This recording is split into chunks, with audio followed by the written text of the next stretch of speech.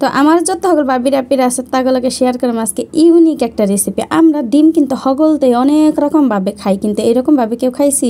আচ্ছা কীভাবে সেটাই শেয়ার করুন, চলেন। তো আসসালামু আলাইকুম, সবাই কেমন আছেন? আশা করি ভালো আছেন, সুস্থ আছেন। আমি আল্লাহ রহমত এবং আপনাদের সবার দয় ভালো আছি, সুস্থ আছি।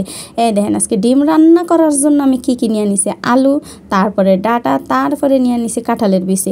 মানে কাঁঠাল খামো আর কাঁঠালের বিচি খামো না, এইটা কি কোনো কথা? ইয়াম পসিবল বলে কথা। তাই ইয়াম পসিবলটারে পসিবল করে আলাই চলেন। তো দিয়ে আমি কিন্তু এগুলো একবারে কাইটা কুইটা ধুয়া টুয়া কমপ্লিট এখন আয়া পড়ছি কিন্তু চুলাই চুলাই একখান প্যান বহাইয়া তারপরে তেল দিছি। তেল দিয়া একটু লবণের, একটু হলুদের গুঁড়া দিয়া ডিম দিয়া দিছি। মানে ডিমগুলো আগে থেকে সিদ্ধ করে চুলা টুলা নিছি।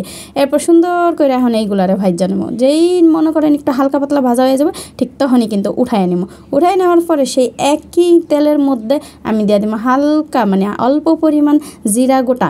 তা কাঁচা জিরার গোটা দেওয়ার পর একটু হালকা পরিমাণ ভাজাভাজি করার পরে দিয়ে দেবো পেঁয়াজ। পেঁয়াজটারও আমি হালকা পরিমাণে বাজব মানে হালকা হালকা একটু বাদামি কালার হইলেই মনে করেন আমি এটার মধ্যে দিয়া দেবো একটুখানি পরিমাণ লবণ আর দিয়া দেবো আদা, রসুন বাটা। তা আদা, রসুন বাটাটা দিয়ে, লবণটা দিয়ে আমি আবার মনে করো মনের সুখে একেবারে ঝাঁকনাকা স্টাইলে নাড়াচাড়া করুম যাতে আদা, রসুনের যে আলগা একটা ফ্লেভার আছে সেটা একেবারে উইরা উইরা উইরা উইরা জায়গা, বুঝেন না এরপর অল্প পরিমাণ পানি দেবো পানি দেওয়ার পরে হলুদের গুঁড়া, মরিচের গুঁড়া, ধনিয়া গুঁড়া, সব মশলা দিয়ে সুন্দর করে মনে করেন মশলাটা কষামো। মশলাটা কষানো শেষ হয়ে গেলেই আমি কিন্তু দিয়া দেবো যেই তরকারিগুলো আমি এতক্ষণ ধুয়া টুয়া কমপ্লিট করে রাখছি সেই তরকারিগুলা। এখন কোন? এখন পর্যন্ত কারা কারা আছেন যে কাঁঠালের বিচি দিয়ে এখন পর্যন্ত তরকারি খান নাই? তাই যারা যারা খান নাই তারা কিন্তু অবশ্যই আমার ভিডিওটা ফলো করবেন আর আমার ফুল রেসিপিটা ফলো করে তারপরে বাসায় বানায় খাবেন এবং অভিজ্ঞতা শেয়ার করবেন আমার সাথে মানে কমেন্ট করবেন। আর আজকের এই রেসিপিটা যদি ভালো লাগে অবশ্যই আমার যত সকল বাবির আপিরা আছে তাগুলোকে কিন্তু শেয়ার করবেন বেশি বেশি। আর ভালো লাগলে অবশ্যই সাবস্ক্রাইব করতে ভুলবেন না এবং ফলো দিতে ভুলবেন না। তো এই দিক দিয়ে কথা কইতে কইতে কিন্তু আমার তরকারি একেবারে মনে করেন কষানো টসানো শেষ মানে সব তরকারি সিদ্ধ হয়ে গেছে গা। সিদ্ধ হয়ে যাওয়ার পর আমি কিন্তু অল্প পরিমাণ পানি দিয়ে দিছি আর বাইজা রাখার সেই ডিমগুলো দিয়ে দিছি। এরপর ঢাইকা রাইখা দিয়ে তারপরে দেখেন কি সুন্দর বলকাইতেছে, একটু নাড়াচাড়া করে দিলাম।